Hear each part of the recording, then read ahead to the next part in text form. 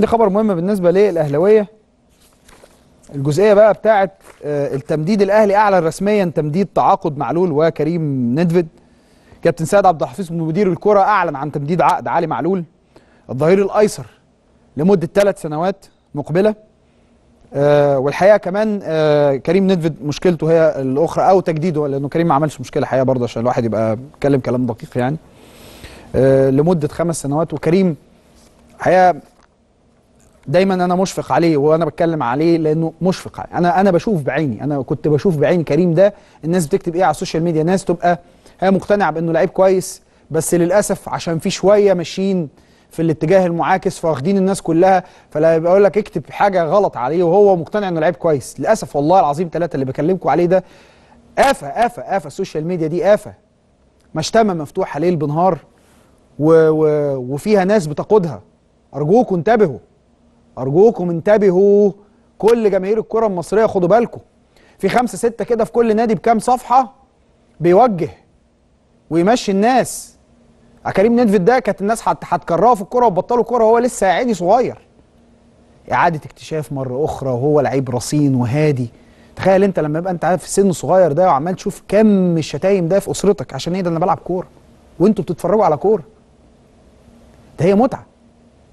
أنا بلعب كوره وانتوا بتتفرجوا على كوره مش نهاية العالم إحنا مش مش بتحارب فأنا كريم هفضل طول الوقت حقيقة بعتد بيه جدا. مثال الولد ال- ال- الشاب المحترم اللي اشتغل وبيفضل يشتغل على نفسه والحمد لله ربنا نجاه من جحافل السوشيال ميديا الحقيقة اللي كانت بتشتغل عليه الفترات اللي فاتت. طيب. خليني بقى أقول لكم تفاصيل آه تعاقد مع علي معلول. علي معلول واحد من اللعيبة الملتزمة جدا جدا. كنا اتكلمنا الفترة اللي فاتت الأهلي كان حريص جدا على التعاقد معاه وتمديد التعاقد معاه. خليني أقول لكم إنه آه علي هيبقى هو هو لسه له سنة علي معلول لسه له سنة والأهلي مدد له سنتين. فهو كده هيبقى مكمل مع النادي الأهلي كام سنة؟ من النهارده ثلاث سنين من النهارده. خلاص؟ علي كان آه، 600 ألف دولار آه، قيمة التعاقد بتاعه. من السنة اللي جاية هيبقى مليون دولار. وانت الأهلي وهنا أنا أنا الحقيقة ده ذكاء من النادي الأهلي. انت انت لما بتيجي انت دلوقتي هتجيب لعيب دولي ها هتجيب لعيب هتتعاقد مع لعيب دولي من السنة الجاية فهتجيبه بكام؟ أكيد مش بمليون دولار. ركز معايا. ركز معايا. ده فيديو من التدريبات بتاعت الأهلي النهارده. بس سيبكم من الفيديو دلوقتي. لأن خليني بس أقول لكم الكلام ده اللي أنا بقوله ده مهم قوي. ركز معايا. مليون دولار في الموسم الأول.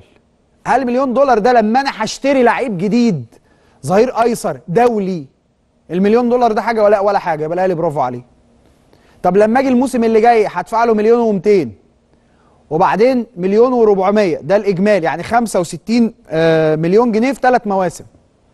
أنا اشتريت لعيب دولي منسجم مع الفرقة ب 65 مليون جنيه. عشان بس محدش يلعب يعني يلعب في الحتة ديت يقول لك ده رقم كبير. آه يعتبر أغلى لعيب في النادي الأهلي في الوقت الحالي يتقاضى. بس ده ده ده حلال ربنا اللي له علاقة بإنه ده لعيب دولي. أنت لما تيجي تشتري دلوقتي لعيب بأي رقم إفريقي بيلعب في, في, في أي نادي من الأندية هتدفع فيه وهتعد كتير جدا. ويا عالم بقى هو هيبقى ظابط معاك ولا مش ظابط معاك؟ انت يعني بص بختك يا ابو بخيت انت مش عارف الدنيا تبقى ظابطة معاك إزاي. فالأهلي أنقذ الحتة دي بعلي معلول لأنه علي كان جاي له عرض وأقول لحضراتكم كان جاي له عرض وعرض كبير جدا من الصين وكانوا اتكلموا مع علي معلول الحقيقة وفتحوا مع علي معلول. لكن الأهلي لما اتعمل انت اتعمل بإحداثيات السوق دلوقتي بالأرقام بتاعت السوق دلوقتي. خليك ذكي دلوقتي انت أكنك اشتريت لعيب جديد. فأي رقم هياخده علي معلول؟ أنا قلت لكم الأرقام أهي. هو بياخد 600 ألف دولار هيبقى ياخد آه، مليون من الموسم اللي جاي بعدها مليون و200 ألف بعدين مليون و400 ألف. أنت اشتريت لعيب جديد آه، منسجم مع الفرقة لما هتفكر تجيب أي واحد هيبقى برقم كبير جدا. لاسارتي اختار 21 لعيب. هيسافروا معاه تنزانيا. قولوا يا شباب بتقولوا إيه؟ ها. ده دي كانت ده كان كلام كده ما بين آه، كابتن سيد عبد الحفيظ وعلي آه، معلول قبل التجديد على فكرة لأنه بعد التمرين كانت كل حاجة كانت آه، خلصانة. وعلي زي ما بقول لحضراتكم يعني لعيب مهم جدا بالنسبة للنادي الأهلي يعني. وأي حاجة كانت هتحصل في فكرة إنه علي ما يجددش ما يبقاش موجود في الأهلي يتساب كانت الدنيا هتبقى صعبة جدا بالنسبة للنادي الأهلي في المركز ده. فطبعا النقطة دي أنا أنا دايما إيه آه بحق الحق كده في الحاجات اللي بشوفها قدام عيني. أنا مش مش رقم يعني مش شايف إنه رقم كبير 65 مليون على ثلاث سنين. لاسارتي اختار 21 لعيب في هيسافروا تنزانيا اللي هم شريف إكرامي والشناوي وعلي لطفي ورامي ربيعة وسعد سمير وياسر إبراهيم وعلي معلول وأيمن أشرف ومحمد هاني ووحيد. خط الوسط فيه هشام محمد ورمضان صبحي وإسلام محارب وعمرو السولية وناصر ماهر وكريم نيدفيد. وحمدي فتحي وحسين الشحات ومحمد شريف وجونيور اجاييه وصلاح محسن. استبعد ست لعيبة اللي هم حسام عاشور ووليد سليمان ونجيب وأزارو وأحمد فتحي ومروان محسن آه، وكل دولت بداعي ال- الإصابة. بعد فاصل سريع جدا جدا هتكلم مع حضراتكم في أخبار وكواليس نادي الزمالك آه، وإيه اللي بيحصل في القلعه البيضاء بعد مكسب النهارده صعب ولكنه مهم.